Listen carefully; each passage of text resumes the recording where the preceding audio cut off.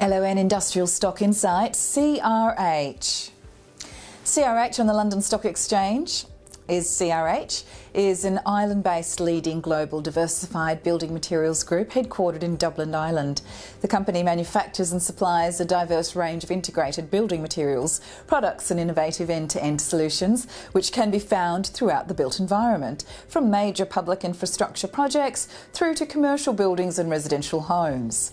CRH was formed through a merger in 1970 of two leading Irish public companies, Cement Limited, established in 1936, and Roadstone Limited, established in 1949. The Fortune 500 company, CRH, is a constituent member of the FTSE 100 Index, the Euro STOXX 50 Index and the ISEQ 20, as well as the Dow Jones Sustainability Index, or DJSI, Europe. CRH's American depository shares are listed on the New York Stock Exchange. Globally, it is the second largest building materials company, the largest in North America, in fact, the largest heavy side player in Europe, and strategic operations in Asia and South America.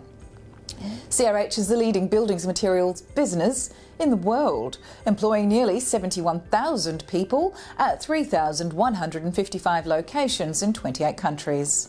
CRH is North America's largest building materials business with operations in 46 US states and 6 Canadian provinces.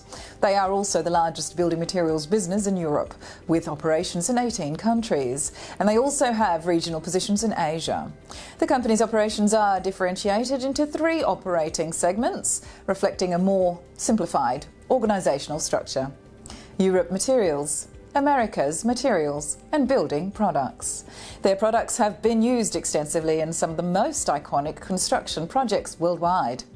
The company performed strongly against its peers in the 2021 assessment, maintaining their place in the Dow Jones Sustainability Europe Index.